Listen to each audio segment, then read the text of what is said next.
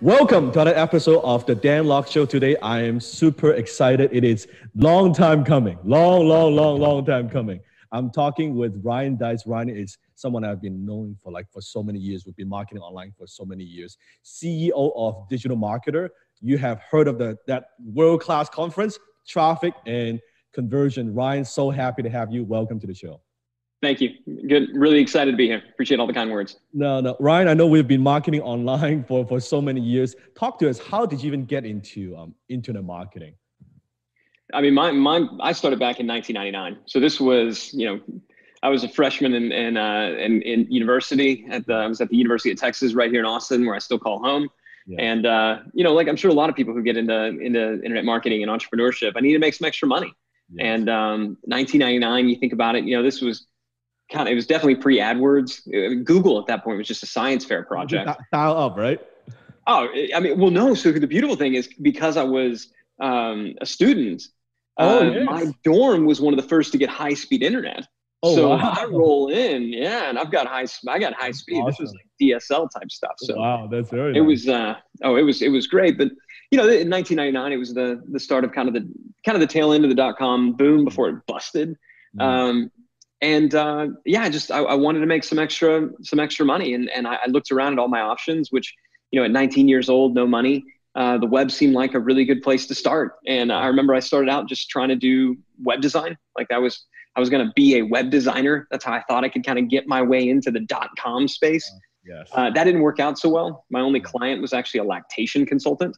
Um, which I don't know if, if, you know what that is, but uh, four kids. Very thankful for these ladies now, but at the time it was a little bit strange building a website for, you know, somebody who helps nursing moms breastfeed. Um, she wasn't able to pay me though for, for the website, and so kind of as payment, she gave me this ebook that that we had helped to help to produce that was on how to make your own baby food. Mm. So the very first product that I ever sold online was an ebook on how to make your own uh, baby food. I remember putting up the website. I remember optimizing it for Alta Vista, and uh, you know Alta Vista, yes, Alta Vista. Oh my God, that's right, yep. that's right. All those, you know, all those crazy search engines at the time, and waking up the next morning. Overture. And, Overture. oh yeah, well, I, I, did it when it was GoTo.com. Oh, yeah, GoTo, yeah, GoTo.com, and then Overture. Yeah. That's right, that's right. First pay-per-click yeah. search engine. And so I, I remember making that first sale and thinking, wow, this this might be a thing. So make a long story short, um, it's kind of what I've always done. You know, I, I've always you know, looked in, into looked at the web and said, well, what do people want? Where aren't they being served, and how can we best serve them? And um, so that's kind of where everything started. The and, and, you know, ventures sort of grew from there. And when did you start uh, digitalmarketer.com? So Digital Marketer was officially formed as a company in 2011. Yes. Um, and that was actually at the very that was at the third Traffic and Conversion Summit. So mm-hmm. you mentioned our event, Traffic Conversion Summit. Yes. Uh, we just celebrated our 10th TNC. So TNC number 10, we just did 10 years. Yeah. And first um, year, how many people were there? The first year? Like 180 something, you know. And the one that you just finished, how many? Just under 7,000. Yeah. So it was just like amazing growth. Amazing. And, and it's a lot of it's been growth in the industry, right? Like what started out as kind of this, this little, you know, weird side project that nobody quite was sure what you were doing is now it's a thing. It's an industry. It's a profession. It's, it's how people make money. So I, I don't think that I can you're like claim too, all the credit. I think, I think you're too humble because within our industry, within the, just the internet marketing space, I believe everyone that I talk to, they talk about different conferences and digital marketing conferences. Traffic and conversion, everybody's saying this is like the top. Like if it's not number one, it's number one and two, like in the entire wow. space. So I think I'll I think super super humble. Like everybody's like, yeah, maybe you missed the other one, traffic conversion. You want to know like what is working, and I, of course the way you run it, the breakout rooms, you bring on different experts. It's always very much practical. What is working right now in the industry what's happening no fluff. You walk away with a ton of value you can implement immediately. That's always the feedback i hear from everybody right? So i mean that's, that's the goal. like, and going back to the very first year right? You know in 2009 we did the first one. Mm. there were lots of events but they weren't very good. I mean there, were, yes. there wasn't they weren't content heavy. And so i remember saying if we're going to do this it has to be a great event. We want people leaving saying this is the best event i've ever been to Yes. Um, we lost a lot of money on the first one because we didn't focus on profit, but uh, would, you know we did second and third. But I remember that that very third that third traffic conversion summit, 2011, looking out at that point a room of almost 800 people, mm. and just saying like, this is a thing, you know, this is a business. And so that was the year that we decided, you know, let's stop treating this marketing training stuff as just a side hustle, as a side business that we do in addition to all the other things. Let's make it a company. And that's when Digital Marketer is born. It still didn't really become a real thing until mm. 2014 when we launched Lab, which is our subscription program. So, mm, talk to us about that. Talk, talk to us about Lab. What inspired sure. you to start that? Yeah, I mean that's really simple. Netflix. Um, I, I, at the time, and I've so I've been selling courses on how to do marketing since 2000. Um, yeah. so people were asking me, "How are you doing it?" So I produced a course, and that was how I funded all my other entrepreneurial endeavors. Was I would create a course, I would sell it, I'd raise some money, and then I'd go and start what I believe was a you know real business, whether it was a software company or a publishing company. Mm. Um, the training side to me never felt real it always felt as like this thing that I did over, over there to raise money for the real things. Yes. So when when we launched Digital Marketer in 2011, we were still doing the same launch model that everybody else was doing, right? Come up with a product or two a year, you know, do a big product launch, sell it for two thousand dollars, go back and and and do it again. And and nothing against the launch model. Jeff Walker is a dear friend of mine uh, who kind of came up with the product launch formula, and it's brilliant. Mm. But at the time, we had turned it into a business model. It's not a business model; it's a promotional model. And, and I was just looking at it. What are the companies that I felt like were really changing the game? And, and I saw what Netflix was doing in entertainment. And I said, let's create the Netflix for marketers. So in 2014, we took all of our content, all of our courses, courses we had sold for five, 500, a thousand, two thousand dollars. We yes. said, let's put them all in one membership area yes. and charge $40 a month, 3860. We'll call it lab and it'll be great. And it was great. People loved it. And we almost went broke because what happened there? Well, I mean, you pivot from from selling a product for two thousand yeah. dollars, where you realize basically the all the, the, the lifetime value of a customer. You realize it on day one. We right. switched from that to saying we're going to realize the lifetime value of this customer over a much longer time. Now, in the aggregate, over time, it winds up being a lot more money. The revenue is a lot more predictable. Cash flow sucks. Yeah, but in the beginning, it's tough from a cash flow perspective. It was tough. So yes. robbing from Peter to pay Paul you know, we were still doing the occasional product launch to, to cover payroll. 2014 was a tough, tough year, but we were, you know, we were growing. And the, that was really the year that the brand was born, was in 2014, you know, 2015. Mm. And also, I think uh, from what I'm observing, right, from everything that you do, I think from the let's call that the, the, product launch, the internet marketing space, but I can see you just digital marketer transition. It's it's a different brand, right? It's it's lack of better word, less hype. You, you, you focus more a broader market, focus on also serving agency. I could see that, right? A much broader market. Make it more, has a wider appeal. Like I could see the rebranding and the direction, right? And same thing with traffic conversion. Is that right? Yeah, it was, and it was intentional. And, and uh, you know, where a lot of it came from was, was recognizing that marketing as a whole was getting harder. So this idea of I'm going to go start an online business mm. isn't as easy as it was in a lot of ways it's easier like the technology like the the, the things that it was really hard just to build a website when we first got mm, started yes. right yes. now that part's easy yes. Um, getting traffic was was hard back then now with facebook and you can just go buy it like so so many things are easier but because they're easier there's more competition there's more noise and it, it is harder to break through you have to mm. really bring it now mm. and, and at the same time what we saw is kind of the old big dumb companies starting to get it the big dumb companies getting getting wise to it, saying, yeah, maybe this internet's a thing. Yeah. It's, it's a real thing now, right? yeah. So so I, I, remember realizing, I remember raising, you know, asking everybody walking out at, at I think it was Traffic Conversion Summit four or five, and going out and saying, how many in here are business owners? Mm. And I didn't see as many hands go up, and I was surprised. I was like, okay, how many of you were sent here by your company? And I saw a significant chunk of the hands that went up, and I mm. thought, you know, marketing is now a profession. We need to start serving the professional marketers, not merely the entrepreneurs, because everybody needs marketers. And frankly, the category of marketing is much bigger than the category of entrepreneurs who want who need to do marketing. Correct. So it was tough. Right? We didn't want to abandon the ones that that that we were serving. We did, you know, we got a saying in Texas like "dance with the ones who brung you." Right? Uh, yeah. We wanted to keep dancing with the ones who brung us, yeah. but we also, frankly, wanted to elevate what they thought about marketing. We, we didn't want them to say, "Oh, I'm an internet marketer." No, you're not. You're a business owner who leverages the web and internet and digital to market your business. You're a business owner. Okay. You're an entrepreneur. You're a founder. Uh, so we really wanted to, to elevate the category um, mm. both our category and the, the category of the people we were serving.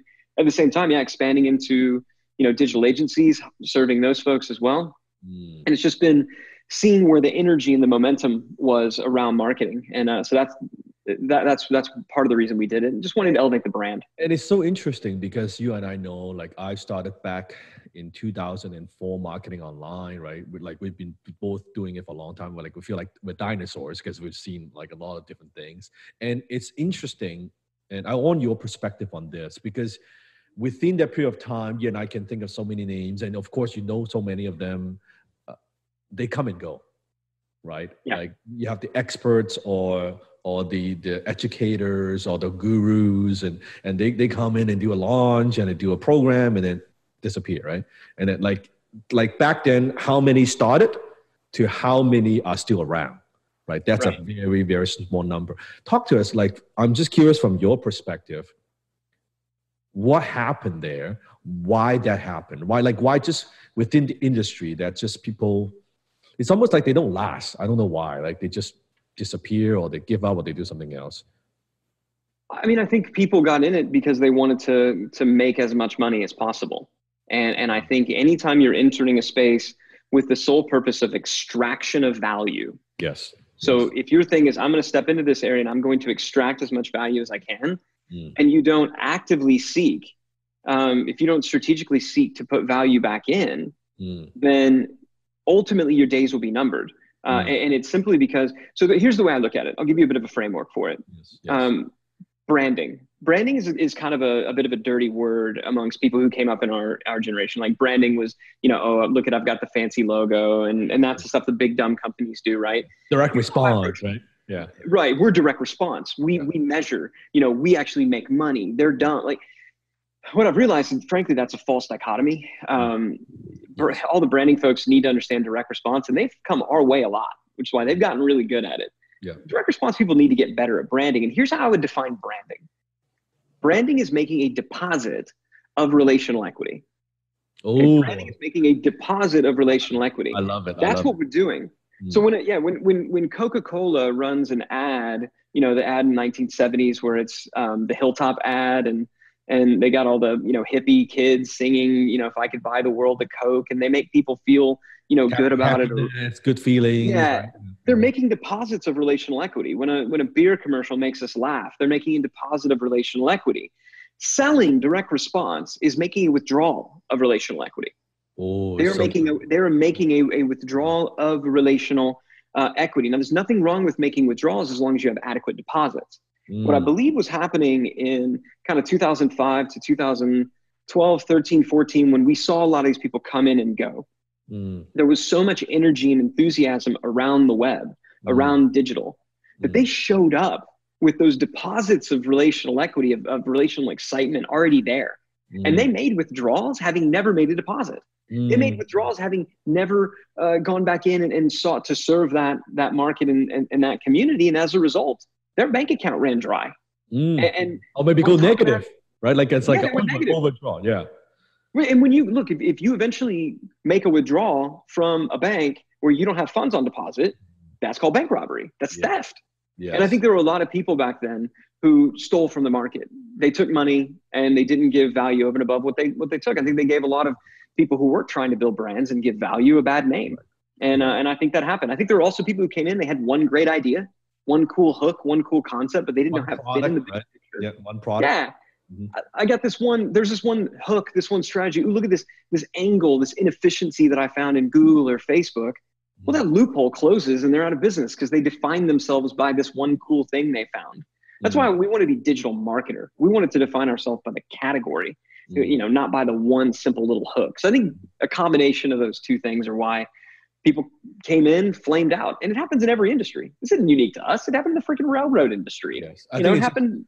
It's just when it happens to our industry, it's more public because there are a lot of people watching, and we we touch many people's lives. So it feels like it's it's more public. I'm also want to know like when it comes to because you work with so many marketers, right? You you see the numbers, you see what works in industry. So two questions. First question is, uh, let's say nowadays we're now in, within this year or the next 12 months what has been working very, very well for you, for digital marketer or for the clients that, that you serve in terms of bringing customer, bringing leads? Yeah, I mean, so I started saying I warned everybody in 2016 mm. at on stage at Traffic Conversion Summit in my keynote. Mm. Ad costs are going up. Yes. They are going to go up, and they did. They've been up, you know, since then. They're they're up almost double where they where they closed out in 2015. Yeah. And I said the solution to this is we need to start building our pixeled audiences. So mm. I don't mm. know how sophisticated your, you know, I don't know how sophisticated your your audience is, but that's mm. simply, you know, you can create custom audiences in Facebook and Google. Yeah. So you can. And um, yeah, so you have the ability to retarget. I know you know this because I follow, you know, I follow your stuff, right? you see, you see my ads all the time. yeah, well, I, no, but what you do is I'll watch one of your ads. Yes. And then the, the next, you know, next time on Facebook or somewhere, you know, YouTube, and and now I see the next ad that's in the series. Like you understand how to do sequential story-based marketing Correct. Within advertising by leveraging retargeting and custom audiences. Correct. Correct. The, the, the mistake that I see people make is they only do um, they only do direct response. So what what we've been doing, what I've been encouraging marketers to do is whatever you're spending right now on advertising, yes, take 20% of it and reallocate it to just a pure content play. Mm. You, you, there's probably take the 20% that isn't ROIing as quickly. You probably got 20% of waste. And look, if you can do 25, 30%, that's even better. Eventually, I'd love to see you get 50 50. Mm. Um, but what, what we are doing that still works well, that nobody else wants to do, and this is why it's working, mm. is we buy advertising to pure content, not disguised content, right? Mm. Advertising to pure content. Yes. Videos on Facebook, YouTube, blog posts for the purpose. Now, some people will click through and find us and buy something. Mm. Um, but in general, what we're doing is we're doing this to build our pixeled audience so that we can then follow up with relevant advertising again mm-hmm. after we've made that deposit of relational equity cool. now we can follow up with relevant you know relevant lead magnet or a low dollar product cool. um, that's what we're finding works works really well to keep our traffic costs down it almost ties into what you just talked about branding versus direct response right we are when you're doing pixel you're building the audience you're depositing right for for future equity and it, it might seem, it might seem like no, we want to spend a dollar, we want to get like two dollars back. No, you're gonna spend a dollar and you won't see that return in a year. And as as a marketer, you need to be okay with that, right? That that you're building a long-term relationship and to a point where you deliver so much value and so much content, and people would be like, yeah, I, I want to know more, right? I, I, want to, I want to continue. I want to go to the next level. It becomes like the selling becomes ten times easier. That's what I found, right? No, it does. And, and to that point, the other thing that we're doing is we added a, a, a direct sales component to it. Oh, okay. So we're building, so, so we're advertising to content which isn't making us money. Now we're only allocating in the beginning 20, you know, 30%. Now we're much higher than that. Yeah. Um, and then all, if we're asking you for money, if we're asking you to opt in, if we're asking you to register for something, it's because you've already consumed some of our content somewhere. Yes. You're in a pixeled audience. We're retargeting you in yeah. other ways. We do not just go out there and do a cold retargeting. Now, how do we try to capture as much of that as possible? Well, we need to have higher ticket, higher value programs. And this is not just necessarily coaching or you know consulting a lot of times people think about that in in you know the software space just having enterprise type mm. programs where you go after larger bigger tickets mm. and that's going to require that you actually talk to people though so leveraging conversational marketing tools, you know, chatbots, these kind of things, but actually having people on your team yes. who will engage people in conversation while they're on your website. Mm-hmm. It's amazing how many people want to cut in line. They want to they want to bypass the funnel, yes. just go straight to the top and give you money. And you need those Slack adjusters. You need those those wonderful, amazing folks to come in to help your economics in the early days from a tactical point of view, how would someone, let's say someone watching this and they want to have like maybe they have some some closers to help them close, like well from a technical point of view, how would they implement? Is it having a chat or having having a phone number on the website or like what what is digital marketer doing? Sure. I mean, so it's a combination of those things. So one, yes, we have a phone number on our order form. Love that. Okay. What a crazy concept. You know, yes. a lot of companies they, they don't want to answer the phone. Like these people were there ready to give you money and you don't want yes. to talk to them. Um. There's people who have that one last minute question. So that's a simple thing. Uh, we send emails out to high value segments, not asking them to click, but asking them to respond. Oh. And when they do, we have a conversation via email. again, what a crazy concept. Like just connecting with people, right? just to start a conversation. And yeah. then, yes, of course, like leveraging tools, you know, like drift.com and ManyChat. Um, so that when people are on your site, uh, they have the ability right then and there to start a conversation. And you can leverage a chatbot to do some basic filtering. Um, but at some point, you need that human engagement, that human person, that human being to step in and say, you know, what's going on in your world that caused you to show up today? You know, tell me about it. Like, what are you know, out of these three things, is there one in particular that that that you know that out of these three challenges, the one in particular that you're working, you know, working through right now? Oh, that one. Yeah, well, we got something that helps with that.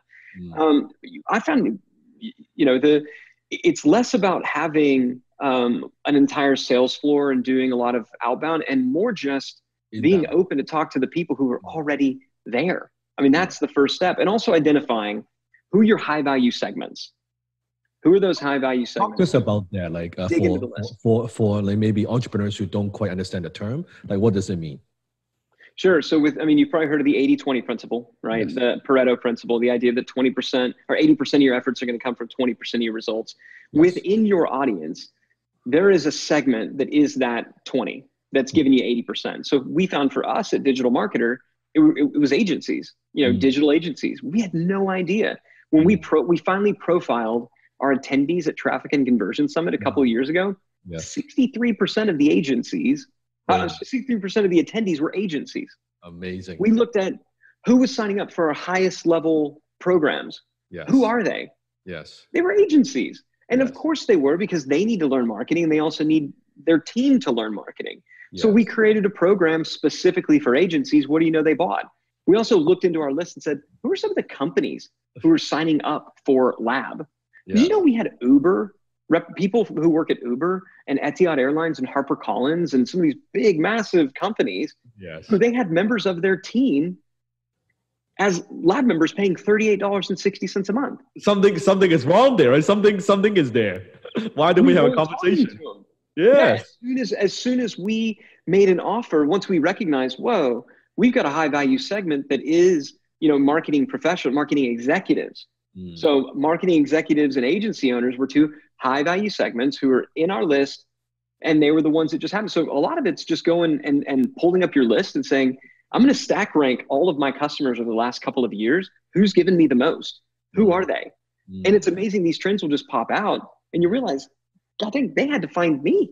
I didn't go out looking for them. Yes. I, I don't. So an email, for example, that we send out to our list from time to time is um, uh, open only if you're an agency owner.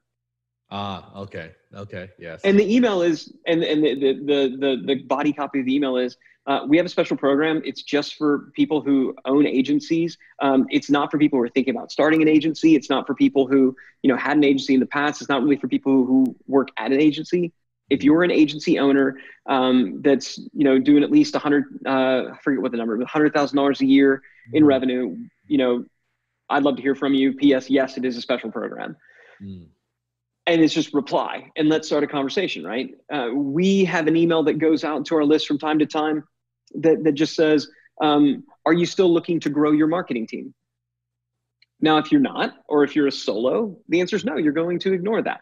Yes. Uh, but if you've indicated at some point that maybe you're interested in building a marketing team by, I don't know, showing up for a webinar on how to build a marketing team, right. then we're going to follow up to you know engage you in conversation because we know that on average those folks are worth five to ten thousand dollars mm. right depending on what level they're in. So i mean the average would be around 7500 but that's kind of the range of, of, of product price. We know that agencies on average are going to be worth 7500 you know $15000 is the the programs that we have to offer for agencies. Mm. so that's a lot more than you know lab which is now $50 a month or $100 a month or $300 a month. But it came from identifying those high value segments I could, how do we know? I could see almost the two big lessons here. Number one, you first of all, you're very clear when you're making an offer who this is not for, right? You're you're mm-hmm. saying, hey, this is only for you if you fit this criteria.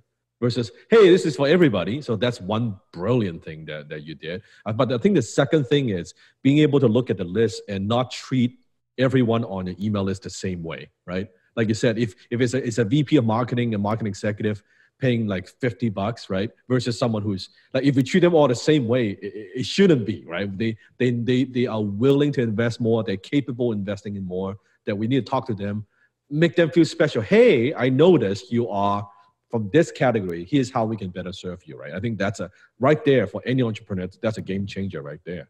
I'd add a third. I'd add a third thing that we learned it. from it. I love it. Um, the it is be willing. So getting back to the tactics and what's working today, we used to optimize everything for let's get the highest conversion rate possible. So I used to tell people, hey, on your on your opt-in form, mm. take out the first name field. Just ask for email address. You probably don't need the first name field. Um, mm. And so so get rid of that because you're going to get a higher opt-in rate. Mm. Well, now we're doing the opposite. Mm. You know, now I'm telling people what I would encourage your listeners to do is don't just mm. ask their first name, ask their company name. You know, ask them questions like, you know, which best describes you? I'm an agency owner. I'm a so so now our forms, you know, mm. when somebody registers or somebody opts in, like if you were to go to digitalmarketer.com, mm. the the free membership thing, it's going to ask you which of these best describes you.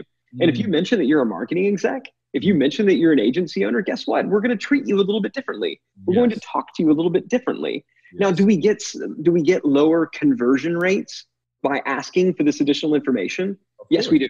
Yes. But what? But we don't care anymore. It's not about optimizing for the conversion rates. It's about optimizing um, to have the highest quality list today uh, mm. of known high value segments. Right. Yeah. That's what makes it. That's what makes it work. So that's what we're doing today. That it, it's funny. We're going back to a lot of old school stuff. Yeah, you know, like good old good old telephone, right?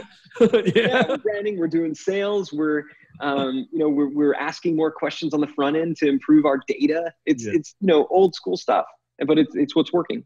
But those are the fundamentals that always always work, right? It's not gimmick. It's trick. It's not the latest whatever tech. It's human beings, basic human psychology, right? Um, I'm also curious to hear yeah. your thoughts about social, right? As you can see, last few years, and I think a lot of even I could see internet marketers, entrepreneurs, where and, and I'm not just talking about pay ads. I'm just talking like social media in, in general. Um, I think a lot of them they may be they know it's important, but I don't think they pay enough attention to it or they don't do enough. Like, what's your perspective when it comes to like social media, like content creation and things like that? How that fits into the whole digital marketing? So it's it's important, um, but I'll tell you, it's what people don't realize is it's TV, it's entertainment. Yes. It's radio. Yes. If you're going to do it, and you should, yes. you need to approach it with that. It's yeah. not just a TV you know, right here. It's, it's actually a TV. yeah, it's a show. Seriously, look at look at your stuff. Yeah, exactly. You produce a show. Yeah. You know what I'm saying? Like you produce a show. You yeah. get that social is the new entertainment. It is the new channel that yeah. people use to be entertained. And so if if you're going to succeed at it organically, mm. then um, then the, then you got to know you're going up against some of the best entertainers in the world, and to think that oh you can just show up and like um, I'm, I'm not saying that, that you have to be have this amazing professional studio or that you you know you got to cruise around in a you know Rolls Royce and, and stuff like that, right? You, you don't. There's a Bentley. I don't know. A really nice. You don't have to have all of that necessarily, but you got to be entertaining. Like you, like your stuff. You're you're freaking. You're over the top. Like you're crazy, right? I look at I look at Gary Vaynerchuk, right? He's an entertainer. Yes. The people who do it well understand that they need to be you know, an entertainer. Um, the, the perspective that we take at digital marketing that I take in particular is I don't want to be the entertainment. So I don't want to be the star uh, mm. it, just because I don't want to. Mm. I don't. Yes. I don't want to. I'm yes. not going to. So we're a publishing company. Yes. We're going to find the people who they have, they are the entertainer. They're doing the thing. And I want to try to get them on my channel. So yes. we take it from more of a channel approach. So I tell people, if you're going to model a social media presence, don't mm. model me. Yes. Okay. Because my brand is not, I'm the yes. entertainer, I'm out there, I'm doing this. It, I don't want to do it. I don't, frankly, don't and, and, you know, and I think that's a, such an important point because I think sometimes people try to copy Gary Vee or they try to like copy me and stuff like that. You got to be yourself. You got to know, know your lane, right? If if that's exactly. what yeah, like it's you try to be Tony Robbins, you try to hundred percent you'll fail because you're not Tony, you're not Gary, you're not me, right? Be yourself and stay in your lane and do well, and, and that's perfectly fine, right? It doesn't mean you like it's fine. It, And there's models out there where you don't have to be that, right? Like, 100%. so you can be a great marketer and align with somebody who is a phenomenal entertainer. That's right. Right. You can, you can, you can join up with those folks and do that. And there's nothing wrong with that. Guess what? Most of the people like you and Gary, it's a rare person to find somebody who can really succeed at the entertainment side, who gets the character, who, mm. who understands all that aspect. And oh, by the way, they're also a really great marketer and business person. Mm. There's not a lot of those folks out there um, that, that have all that in one in one package. Yes. So I, I, love what you said. Stay, you know, stay in your lane and know that there's roles to be played mm. by folks who are not the star. You know, movies right. need directors, they need producers. Um, they need all kinds of roles around that, but social is entertainment. It is it is radio, it's radio, TV, Hollywood. It's all that smacked into one. Mm. The studio set is open. You can walk on and flip on a camera if you like, uh, but once you flipped on the camera, you better show up. Yes, and, and knowing that it's it, it is a uh, it's a content machine. I always say like social media is like this this content monster. You can never feed it enough, right? It, it will never be be satisfied, right? And once you, like you said, you turn on that switch, and I think that's something I want to share with my audience. I have my hesitation too, right? Is this something I want to do? Because I know once I make the decision, like yeah. you cannot go back. You cannot be, oh, I'm over social media. No, actually, I, I don't want that anymore. I kind of want to.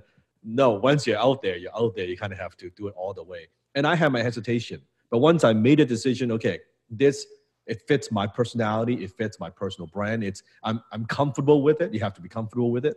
Then then it's okay. Then it's just easy right? Like i love doing this creating content. It's easy for me. I can come on the set turn on the camera and we can go. Not everybody could do that right? I think it's just like exactly yeah. stay or uh, stay in your it's lane. hard. I'll tell you man it's hard for me. Yeah. Yeah. I, totally, I don't like it. I totally agree. After traffic and conversion summit, I curl up in a ball you know, and, and, just sit, sit by myself. I mean, I mean, it, it's hard you know, but I you're was, phenomenal at running a business, right? You're, you're, you're phenomenal in an operation, right? So that's what I want to. I want to be the. I want to be the owner. I don't want to be the racehorse. Yes. You know? um, I don't. I want to be the person in the owner's box. I don't really need the glory. I'm just in it for the money. Yeah. I don't. I don't want to be famous. I don't. I don't want it. So I just think it's important that people know there's there's lots of ways to get what you want. Yes. You know, that's what's important. Look for models. You know, you're a model. I like to think that I can be someone. There's models all over the place, but don't try to be something that is that is really. I'm not saying don't push yourself, mm. right? And I'm not saying don't because look, I still do it even though I don't like it, mm. right? So in the beginning, it's like, yeah, that I don't I don't like that, so I'm not gonna do it. What are you talking about? Do you like food and shelter? Get to work, right? Mm-hmm. So you got to do what you got to do sometime, but but also kind of know know what you're best at. I enjoy the strategy. I I enjoy pointing at other people and, and being like, look how great they are. I still get the money. Nice. So. I love it. I love it. So the second question I have is about scale, right? How do yeah. you scale a company? Like even through your career, uh, example, like you said, you, you, the product launch period, and then building digital marketer and scaling that, scaling your event. Like, what are some of the important lessons that you've learned as a CEO when it comes to scale? So you can generally scale a company from one to two million to you know zero to one one to two million dollars a year in revenue hmm. um, with just a really great offer or two. Okay. So a really great offer. I mean, that's really that that offer phase. If you can produce a good offer, if you have a good product, mm. if you realize how to articulate that, and that's why I tell people early on, the one skill you need to master above anything else is copywriting, right? Know how to articulate, how to structure a really compelling offer. Yes. So that will get you from zero to, to one to 2 million. Mm. From 2 million, you know, one to 2 million to 10, 20, that's a giant, fat, nasty, gross no man's land. Oh, yes. It is tough. And I'll tell you, uh, I make, I've, at every business I've ever done, we made way more money at 2 million than we made at five.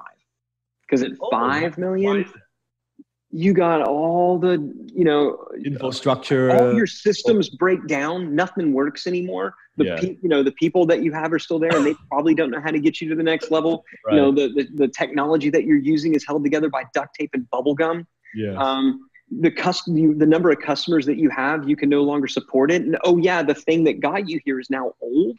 So it needs to be redone. Mm. and then there's competitors. I mean so in every way it's really really hard. So mm. 2 to 10 million, you know, one to 10, that kind of range, it's all about systems. It's about processes. And if you can't learn to love process, if you can't um, learn to love the idea of creating some type of predictable selling system, even if the margins aren't quite as great, even if it doesn't create these massive, you know, boosts of income.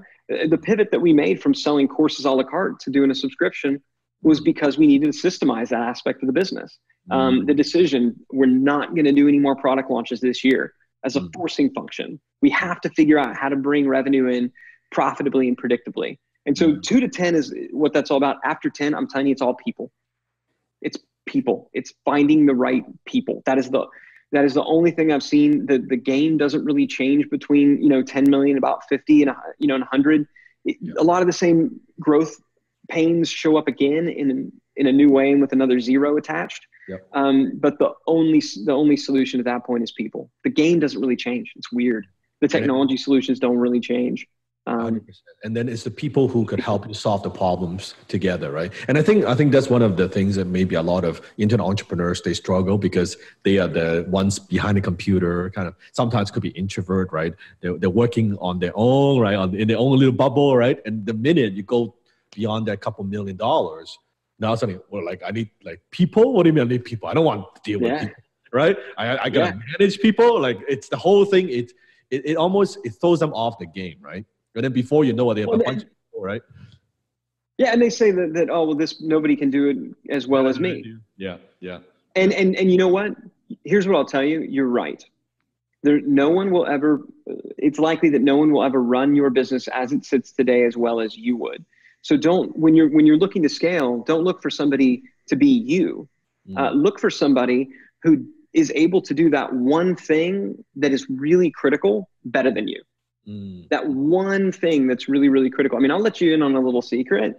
And you know, I don't do marketing at Digital Marketer anymore. Oh, that's a mic drop right there.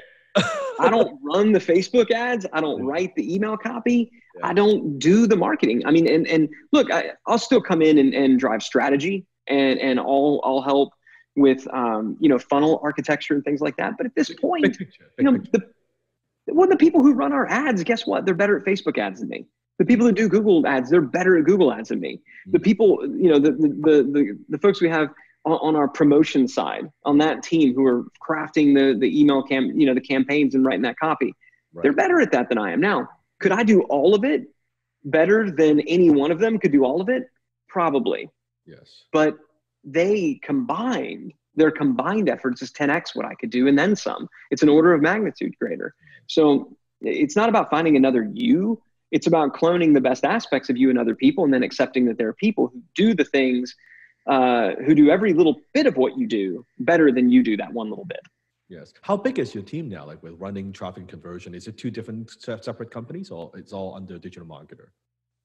Yeah, no. So the um, so my companies generally break into two groups. So we have um, rival brands, yes. which is the all of our media and e-commerce companies. So that's like survivallife.com, sewing.com, makeup yes. tutorials, that side of the house. Yeah. Um, I'll be honest, I don't know how many people are over there right now. Um, I don't actively run that company. It was a couple hundred at one point. Okay. Um, in uh, on the the digital marketer side, so the B2B side, that's called the scalable company, is the holding company over there. So that's a digital marketer.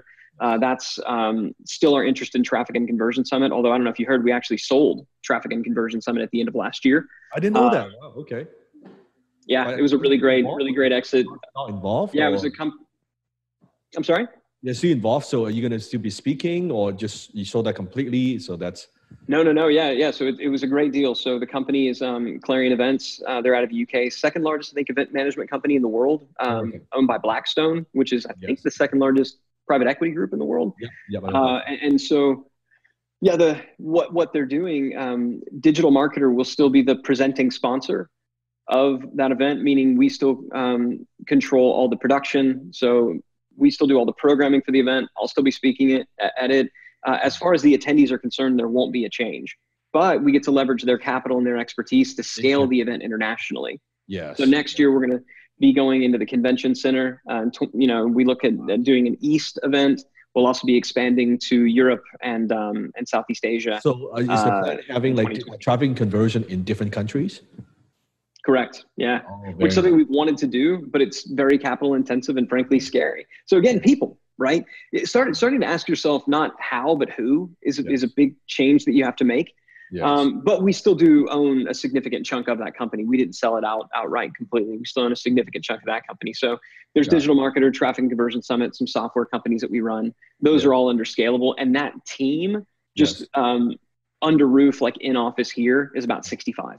Wow, that's amazing. That's amazing. And within a company, who are some of the, the key people that like the way you structure your team? So you have your CEO, uh, like your COO, your CFO, how to structure your core executive team. Sure. So I'm um, I'm CEO. Um, I have my, my co-founder and um, and business partner Richard Lindner is yes. the president.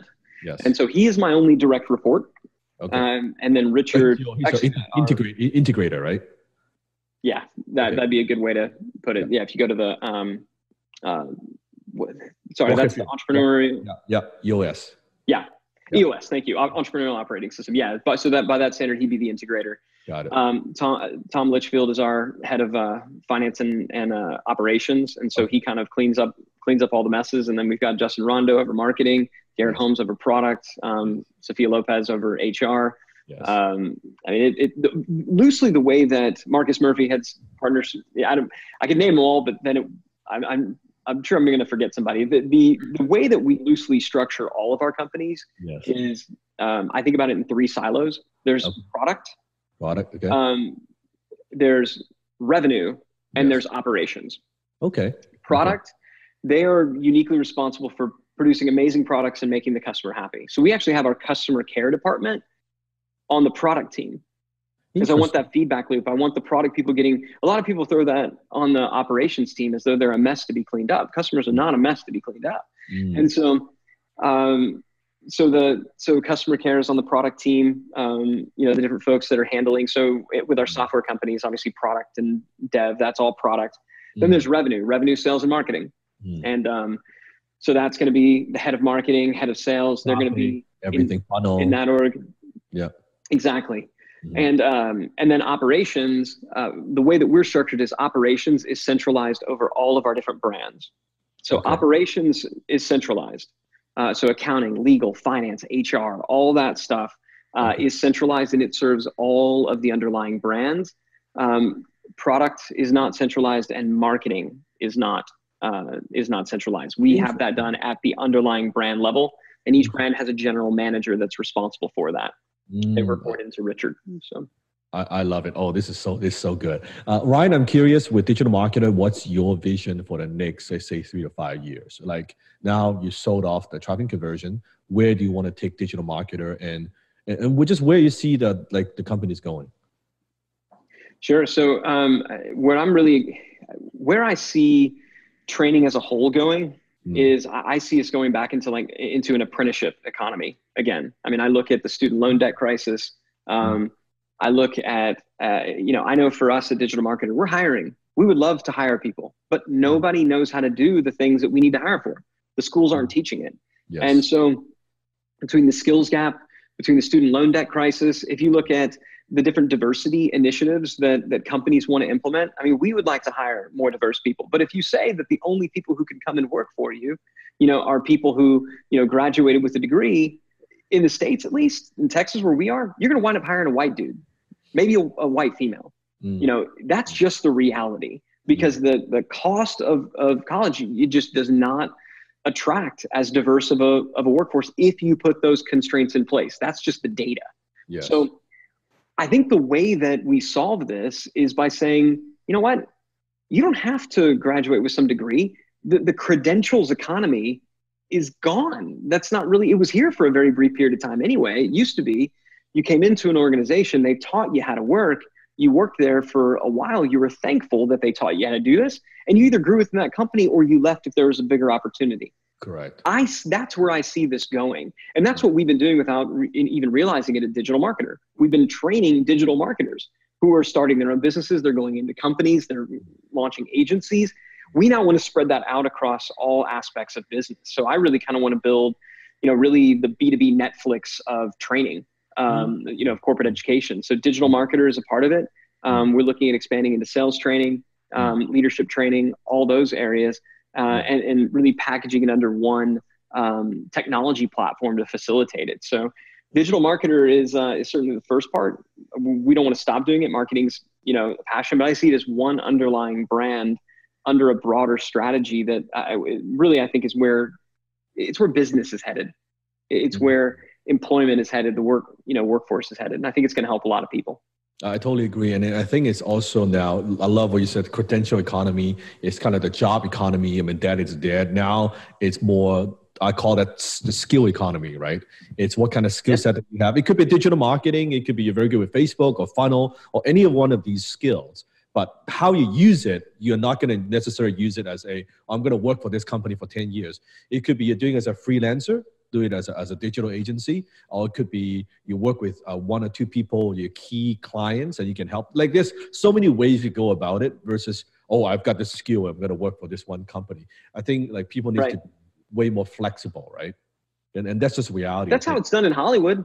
That's it's how true. movies are produced. It's true. You know, that's the Hollywood model, right? You you know, you have a very small group of people who have an idea, yeah. and what do they do? They they they they go and get this director, and they get this production company, and this project together. lighting company. Mm. They come together for a project. They produce something amazing. They all leave. They high five, and they said that was fun. Let's do it again. Yeah, let's do it again. Yeah, number part two, right? Yeah. yeah let's go let's come back again later on let's bring the band back together um, I, I, agree with you i think i think it's going to be a combination of you know both of those things companies training people to work for them and companies also tr- you know just providing additional training for the folks that are out on the periphery but we just mm-hmm. want to drive that i, I just want to create opportunities and i think for companies also to not to cut costs but the old way of like running it it, it costs us too much versus now if they could send their people to training that's one way or they could just hire people who are ready to take on that role and, and do it on a freelance basis versus on a salary basis, that also makes a huge difference, right? I mean, a lot of big changes are happening for sure within the industry. Yeah. So for my audience, if they want to find out more about digital marketer, find, find, out, find out more about your program, what's the best way to do that? Yeah, I'd, I'd go to digitalmarketer.com. There's a button at the top where you can sign up for a free account. Um, yes. you, you'd also be able to see how we do that high value segmentation. So a little bit meta um, yeah. there. Um, sign up for sign up for a free account if you want to check out our certifications. We have our lab subscription. If, if you're a lab plus member, which is kind of the, the middle tier at lab plus, you get access to all of our certifications and all the updates. And it starts at $95 a month. So that's a pretty smoking good deal. That's a, um, that's if you want to, no-brainer. That is a no brainer. Yeah. And I, I know yeah, the, the certifications a la carte for $495. So, yes. you know, if you're thinking about buying, you know, two of them, you might as well get an annual to lab. Yeah. That's that's the idea. And I think it's also a very good way to see which skill set that kind of fits your personality. Because you may not know, well, maybe I want to do funnel, maybe I want to do, I want to do like Facebook or, or whatever it might be, but it gives you a, a broad idea, overview of different skills that you could develop. That maybe just choose choose one and then you go deep with it, right? Yeah, be T-shaped. That's what we tell people. T-shaped. Know a little bit about a lot, and, and then, then figure out after you're learning that where you can go deep. Yes. And, uh, and so there's a lot of opportunities to do that. Don't just be, I know a little bit about everything. Great, you're worthless. Yes. I only know how to do this one thing. Awesome, you're replaceable and you don't understand the context. I right? love it. T-shaped. I love it. Awesome, Ryan. I appreciate it. Digitalmarketer.com. I'm sure I'll put a link under the video as well. Thank you so much. I mean, it's been awesome. I learned a lot. Like I got to listen to this again, just the way you set up your company. I appreciate it. Appreciate you so much. Awesome, Dan. Thanks so much for having me. Thank you.